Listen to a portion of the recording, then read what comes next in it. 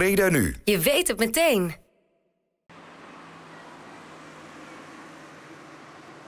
Welkom bij eh, de voorjaarseditie van eh, Mercado de Belkrum. Een eh, eigenwijze markt, zoals ze het zelf omschrijven. En wij gaan dus deze eigenwijze markt op om te ontdekken hoe eigenwijs het eigenlijk wel niet is.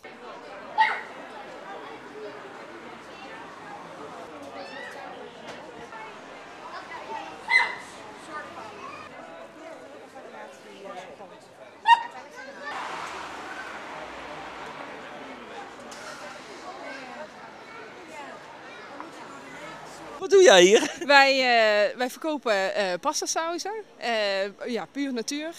Geen geur, kleur en smaakstoffen zitten erin.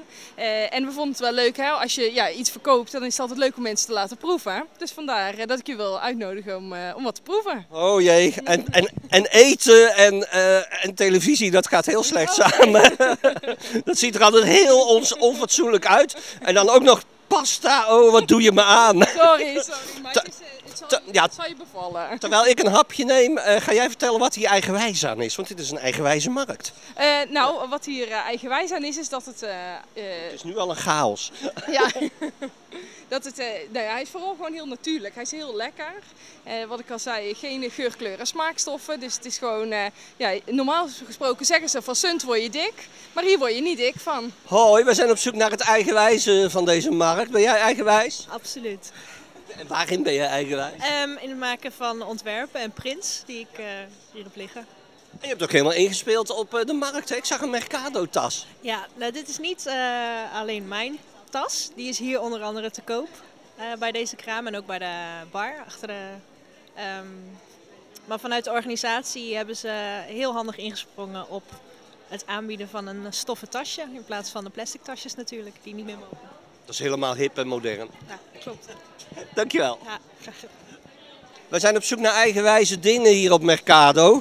Nou, handmade kus van mus. Het klinkt mij als eigenwijs. Eh, ja, wel een beetje. Wat is de kus van mus? Nou, ik ben eigenlijk gewoon juf. eh, drie dagen in de week. En Kus van Mus is de titel van een leesboekje. En een oud leesboekje. En eh, ja. In, in de tijd dat ik geen les geef, zit ik achter mijn naaimachine of ben ik aan het vreubelen. Dit is gewoon een vreubelkraampje. Mag ik dat zo zien? Want dit is dan... En alles heet kus van mus. Ja. ja. Met liefde gemaakt, zeg ik dan altijd. Dankjewel. Graag gedaan. Fijne dag. Dan zijn we al de hele tijd op zoek naar eh, eigenwijze dingen. En dan kom ik hier eigenlijk, eh, mag ik het eh, een beetje beledigend zeggen, een beetje suffe breikraam. Maar er zit toch een hele eigenwijze gedachte achter. Vertel eens. Zeker. Ik zit bij de Vrije Uitloop, dat is een coöperatie in Breda. En daarmee mag je met be- behoud van uitkering je eigen bedrijfje opzetten. Dus eh, wat ik eh, probeer te doen is met al mijn passies, en dat is heel veel, dat is haken voornamelijk, wat je voornamelijk ziet. Maar ook eh, clipjes maken en eh, muziek maken en rappen, poëzie. En eh, straks sta ik ook nog eh, op te treden. Zijn jullie eigenwijs? Ja, behoorlijk. Behoorlijk. Waar uitzicht dat in? Nou, kijk maar hier naar de producten die hier eh, staan. Ja. Om dit te kunnen maken moet je eigenwijs zijn. ja. Wat is het meest... Een beetje afwijken. Wat is het meest rare product? Ik vind dit al best wel raar, deze lampjes trouwens. Ja, dit is helemaal gemaakt van eh, onderdelen van een fiets. Dit is van een spaak, een ventiel, en, eh, van een ketting. Wordt er een, een ledlampje in eh, gemaakt. En hij gaat ook aan. Jazeker, ja. Het is een leuk bedlampje. Of, eh, Nou, het lampje is in ieder geval niet zo eigenwijs dat hij niet aangaat. precies. We lopen hier binnen en ik hoor deze mevrouw ergens op de achtergrond zeggen... Oh, we worden geïnterviewd. U biedt zich aan. Ja, ik bied me aan, want ik sta hier voor een goed doel. Dus daar moet je je zeker aanbieden. En wat is het goede doel? Het goede doel is een bouwproject in Cambodja. En daar eh, verkoop ik armbandjes voor die door een meneer in Cambodja gemaakt zijn. Met maar slechts één goed werkende hand. Zonder benen. Kijk, hij staat hier ook op de poster. Oké. En ehm, hij, hij maakt die armbandjes, ik koop ze van hem. En wat er extra overblijft gaat weer terug naar het bouwproject. Hoi, jullie zijn? Eh Siebe Lips.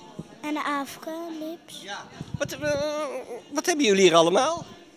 Eh, heel veel pompoen, eh, tomaat en nog heel veel.